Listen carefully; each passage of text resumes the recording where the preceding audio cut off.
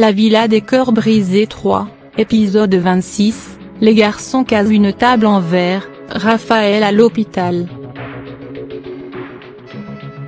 Les filles ont eu la bonne surprise d'apprendre qu'elles avaient le droit à une soirée tentation.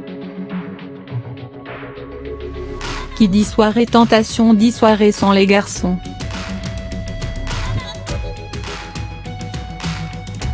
Alors elles s'apprêtent, se font belles, notamment Beverly qui compte bien retrouver Vincent, son prétendant, qu'elle veut absolument dans la villa avec elle.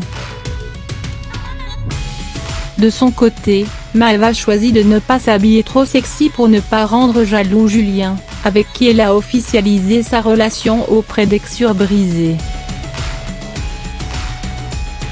De leur côté, les garçons décident quand même de s'amuser.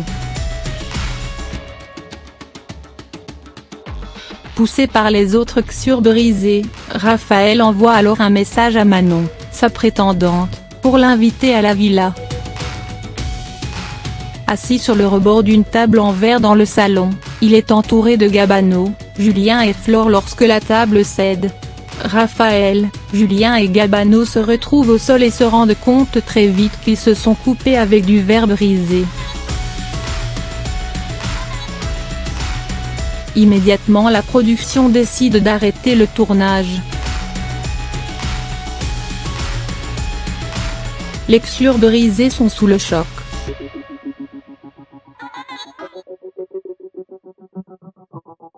Comme il saigne abondamment, Raphaël doit être pris en charge par des médecins, il est donc emmené dans la foulée à l'hôpital où il est recousu. Résultat, 14 points de suture sur la fesse. Julien et Gabano ont quant à eux quelques égratignures au bras et au dos, mais c'est moins grave.